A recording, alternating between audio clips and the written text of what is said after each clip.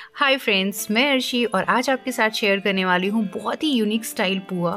Friends आप हर होली पर वही माल पुए, रस वाले पुए खाकर बोर हो चुके होंगे तो एक बार इस रेसिपी को ज़रूर ट्राई कीजिएगा।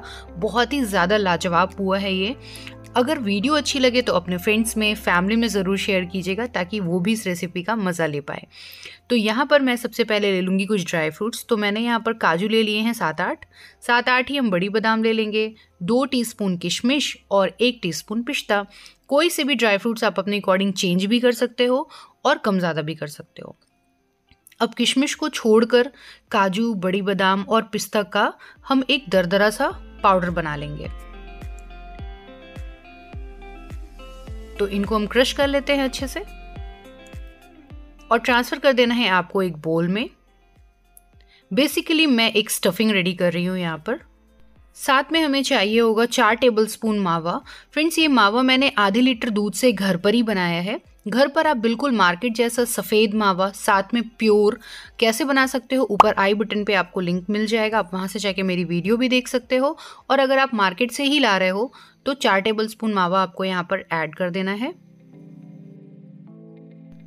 साथ के साथ यहाँ पर मैं एक चौथाई चम्मच ऐड कर दूँगी इलायची पाउडर आधा मैं बचा लेती हूँ, एक चौथाई चम्मच मैं बचा लूँगी आगे के लिए।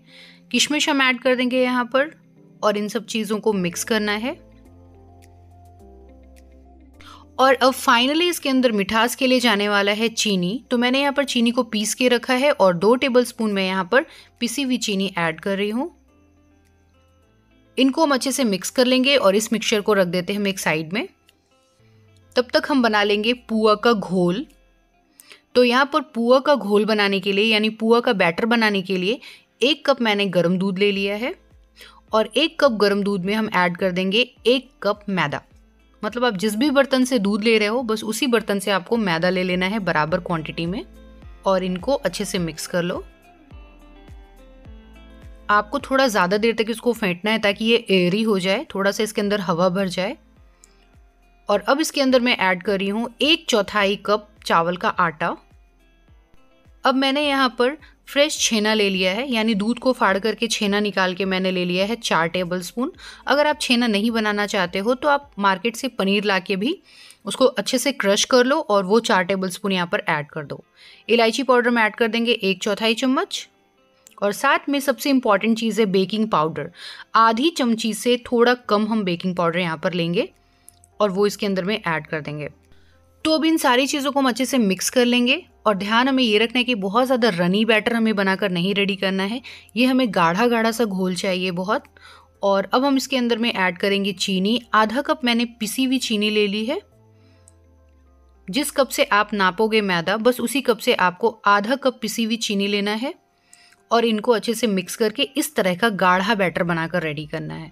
बिल्कुल फ्लो ही नहीं होना चाहिए, इस तरह का गाढ़ा ही होना चाहिए। बाई द वे आपसे ज़्यादा दूध या पानी पड़ जाए तो आप उसमें थोड़ा बहुत मैदा मिला करके कंसिस्टेंसी को इस तरह से मेंटेन कर लेना। मतलब गाढ़ा बैटर बना लेना फाइनली और इस तरह का आपके पास अगर पाइपिंग बैग हो तो उसके अंदर हम बैटर को ट्रांसफ़र कर देंगे। अगर आपके पास इस तरह का पाइपिंग बैग नहीं है तो आपको घबराने की बिल्कुल भी ज़रूरत नहीं है। मैं आगे आपको बताऊँगी कि आप दूध की थैली का इस्तेमाल करके भी पाइपिंग बैग बना सकते हो और उससे भी इस रेसिपी को ईजिली बना सकते हो। तो यहाँ पर मैंने पाइपिंग बैग में भर दिया है मटेरियल इसे मैं रख देती हूँ अभी। और ये देखो, मैंने दूध की थैली ले ली है, इसको अच्छे से आप वॉश कर लो और इसके अंदर में बैटर भर दो।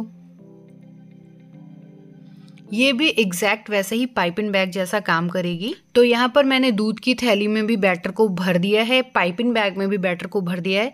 मैं दोनों से बनाकर आपको दिखाऊँगी कि दोनों से बहुत ही परफेक्ट पुआ बनकर रेडी हो जाते हैं। तो सबसे पहले मैं पाइपिंग बैग से दिखाती हूँ आपको। पाइपिंग बैग के एज को आपको काटना है। ज़्यादा बड़ा या ज़्यादा पतला होल नहीं करना है। आप देख लेना मैंने कितना बड़ा होल किया है इसके अंदर में। अब एक फ्राइंग पैन हम लेते हैं और इसमें ऐड कर देंगे दो टेबल स्पून घी। इस रेसिपी को घी में ही बनाना फ्रेंड्स बहुत अच्छा फ्लेवर आता है। और इस पाइप इन बैग की हेल्प से हम बनाएँगे पुआ। तो फ्रेंड्स एक बात और आपको ध्यान रखना है कि इस पुआ को बनाने के लिए या तो आप फ्लैट तवा ले लो या फ्लैट फ्राइंग पैन ले लो। कढ़ाई में इतना अच्छा रिज़ल्ट नहीं आएगा। तो आप इस तरह के बर्तन का ही यूज़ करना फ्लैट टाइप के बर्तन का। और फाइनली अब इसके ऊपर हम करेंगे स्टफिंग तो यहाँ पर हमने जो तैयार करके रखा है स्टफिंग वो हम एक एक करके ऐड कर देंगे इसके ऊपर में. फ्रेंड्स सीरियसली ये बहुत ज़्यादा यूनिक रेसिपी है, बहुत ज़्यादा टेस्टी बनती है. तो आपको अगर ये रेसिपी पसंद आए तो आप मेरे चैनल हॉट एंड स्वीट रसोई को सब्सक्राइब ज़रूर कर लेना, क्योंकि मेरे दिमाग में इस तरह के आइडियाज़ आते रहते हैं. और हाँ सब्सक्राइब करने के बाद आपको बेल आइकन ज़रूर प्रेस करना है, ताकि मैं जब भी कोई नई वीडियो डालूँ, आप तक नोटिफिकेशन ज़रूर पहुँचे. और यहाँ पर मैं इसे पैक कर रही हूँ, यानी एक लेयर हम ऊपर से और डाल देंगे बैटर का, ताकि स्टफिंग जो है वो अच्छे से पैक हो जाए। इसको फ्लिप करना है आपको। सारे को हम फ्लिप कर लेंगे।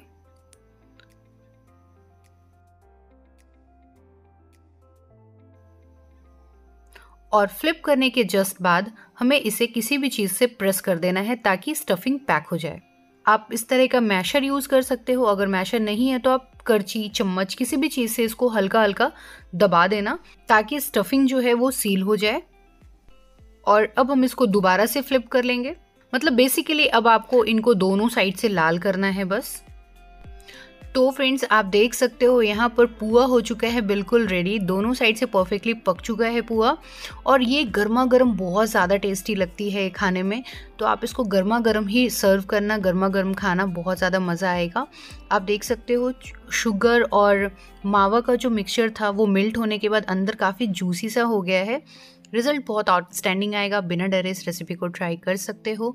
और अगर आपके पास पाइपिन बैग नहीं है तो मैं यहाँ पर अभी आपको दिखा देती हूँ कि दूध की थैली से भी आप सेम पुआ बनाकर रेडी कर सकते हो।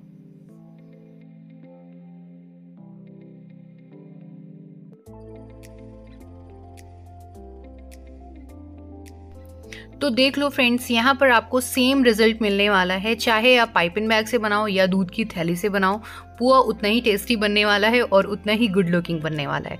उम्मीद करती हूँ आपको मेरी रेसिपी अच्छी लगी होगी।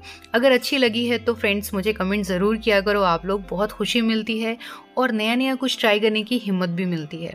तो इस तरह की रेसिपी मैं लाती रहती हूँ अपने चैनल पर। साथ में मैंने ऑलरेडी एक पुआ की रेसिपी डाल रखी है अपने चैनल पर, जो कि है बनाना पुआ। बिहार की काफ़ी फ़ेमस रेसिपी है बनाना पुआ। बहुत ही सिंपल वे में बनती है, कोई चाशनी वाशनी का झंझट नहीं है। अगर आप देखना चाहते हो रेसिपी तो ऊपर आई बटन पे मैं लिंक दे रही हूँ। आप वहाँ से जाके मेरी उस वाली वीडियो को भी देख सकते हो। इसके अलावा आप मुझे इंस्टाग्राम पे फॉलो कर सकते हो मेरे पर्सनल अपडेट्स के लिए। लिंक मैं दे दूँगी डिस्क्रिप्शन बॉक्स में। मिलती हूँ नेक्स्ट वीडियो में फ्रेंड्स बाय बाय